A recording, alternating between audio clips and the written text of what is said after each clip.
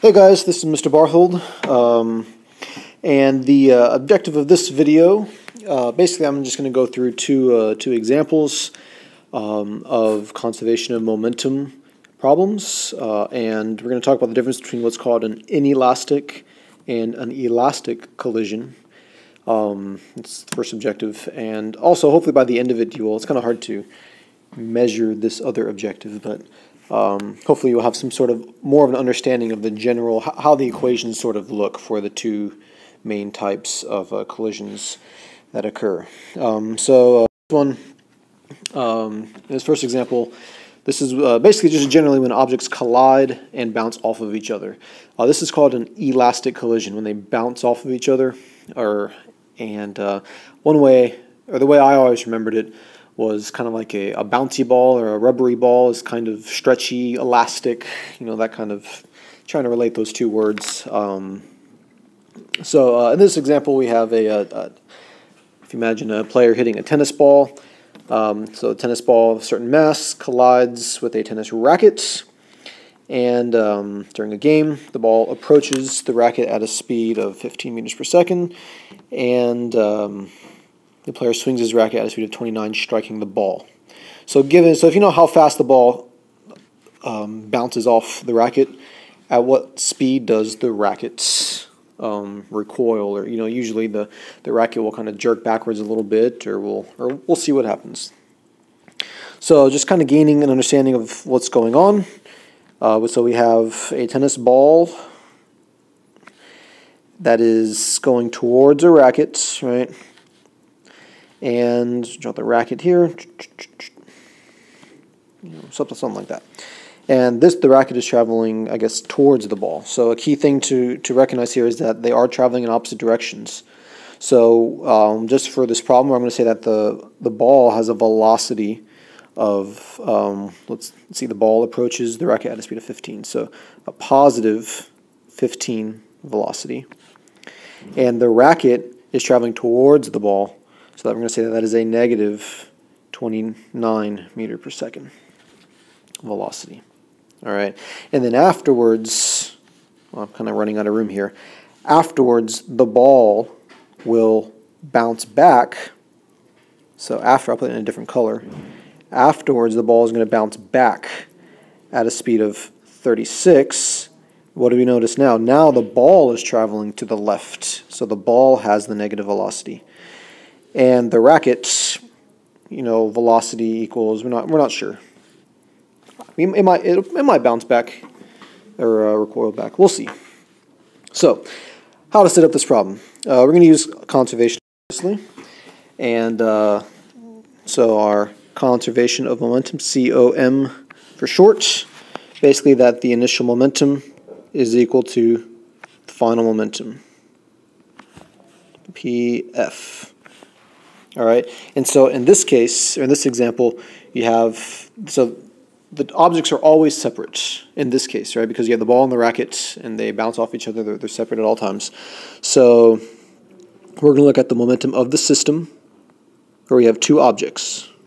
So initially, the initial momentum, M1, M1 V1, M2 V2, right? So we can say M1 V1 is the ball, M2 V2 is the racket.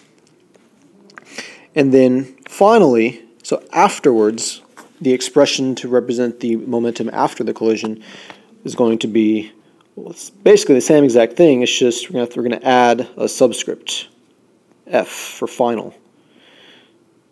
M2 V2 final.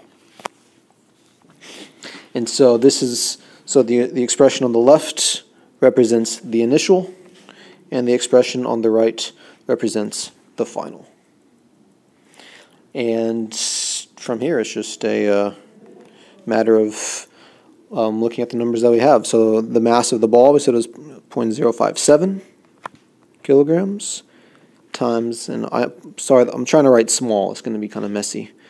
15 meters per second. We said that one was positive. Plus the momentum of the racket. Remember, the racket is traveling the opposite direction, so its velocity is going to be negative 29 meters per second. And that's going to equal our final moment. I'm going to switch colors here, just just to separate. I'm going to have to go to the next line. That's going to equal the final momentum, which um, we said the ball was going to bounce back. So again, the mass of the ball again, 0.057 kilograms times the velocity is now backwards, so negative 36, plus the final momentum of the racket, which you don't know all of it yet, 0.15 is the mass, kilograms, times the final velocity, whatever that final velocity is. So again, initial momentum and final momentum. It really, really helps to draw a picture like we did on the last slide. Hopefully you drew that down. If you didn't, then I would go back and draw it.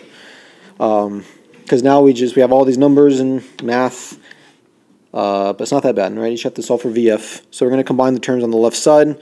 That times that plus that times negative that gives us uh, negative 3.495 is the total initial momentum. And that's going to equal the final momentum, um, which is negative, or the, I guess the right side of the equation.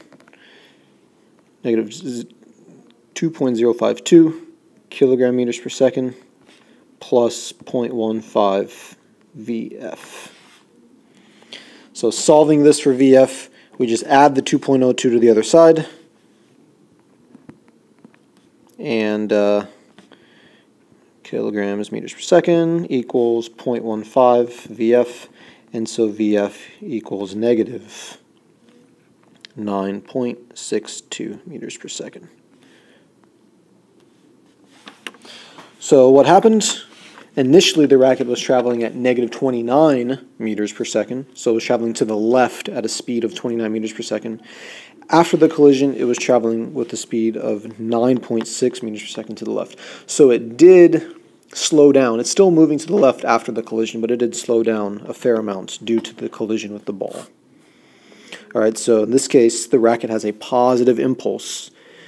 Right, its momentum changed more towards the right, and the ball was motion changed more towards the left, so that would be a negative impulse. All right, um, next example. Two objects stick together after impact. Um, this is an inelastic collision. So this uh, this would be like, you know, for instance, number two on your homework assignment, or um, number uh, number four as well. And actually, this is very similar to number four. This is a very classic physics problem. Um, a, a bullet is shot into a wooden block, and this should say it, not I. And so it embeds it, or no, it said embeds itself. Excuse me. So a bullet of mass uh, 0.0026 kilograms has that velocity, and it embeds itself into a wooden block.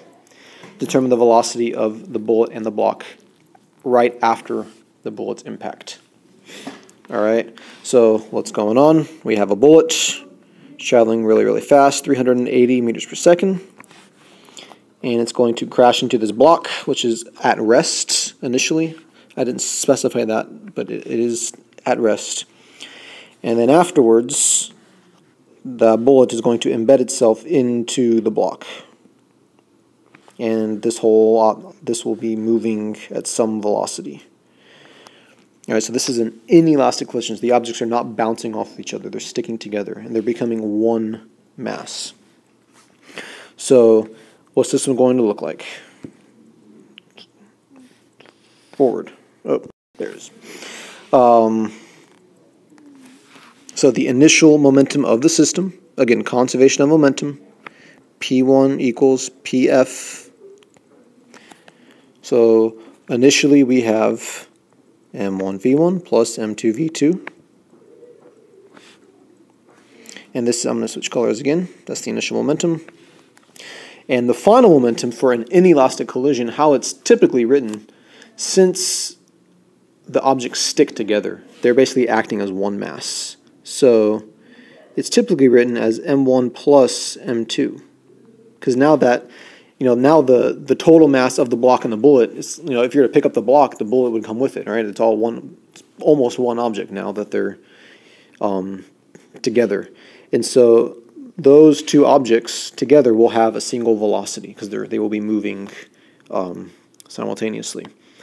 So Um, so yeah, so this is the typical, you know, structure. You know, kind of I said. Hopefully, just kind of see how it's the mathematical structure of the problem. This it's nearly um, always written like this. Whereas an inelastic collision, you have two separate ones, right? M1, M2 equals M1 plus M2, you know, separately. In a inelastic problem, it's typically written as M1 plus M2 as one term. So looking at so looking at this specific problem, the bullet, um, the uh, initial momentum of the bullet. Let's see what we have. The mass was 0.0026 kilograms. Sorry for the bad writing there. Ooh, that's just here. I'm gonna write. That's just awful. Get out of here. Block. Yes. Kil kilograms. There we go. Times the velocity, uh, which was 380 meters per second, plus the momentum of the block. Uh, the block is initially at rest, so the velocity is zero, right? So that's the initial momentum of this is zero. That's going to equal the total momentum, so 0.0026 plus 0.70, right, times VF. So this is the total mass times VF. So this one is um, much easier to solve. Uh, we have, let's see, 0.0026 times 380. Oops, excuse me. Calculator, 0.988 kilograms meters per second equals the new mass, 0.7026 times VF. This is kilograms, right? So we divide by kilograms, cancel the kilograms out. So VF, when we divide by both sides, gives us um, 1.41 meters per second. Notice that the bullet was traveling very fast, 380 meters. That's basically you know a football field a second, and once it embeds in the block, it is going much much more slowly.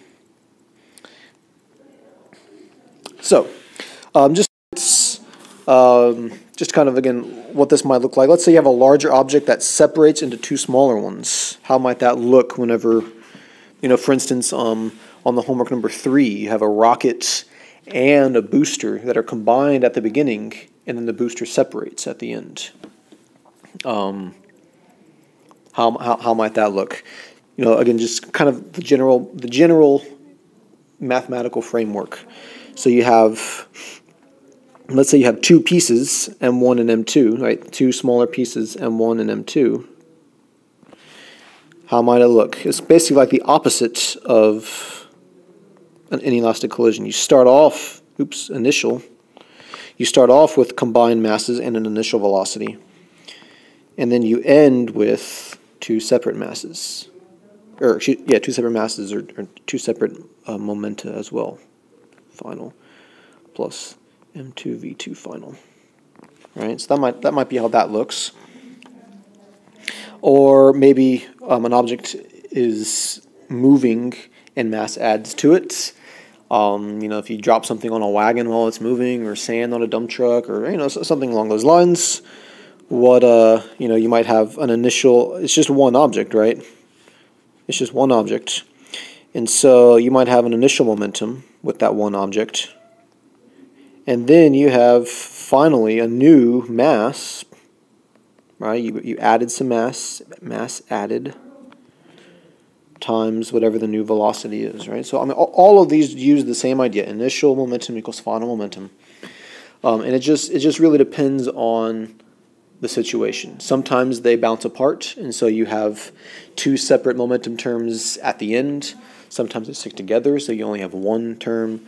Um, it, it really does depend. So look at the problem, analyze the problem, draw a picture. Drawing pictures really helps with this, and um, look at uh, you know you know try to you know logically figure out how you're going to arrange you know mathematically write this out so that you can work towards a, a numerical answer. So I hope this uh, video helps, um, and uh, I will see you all in class. Goodbye.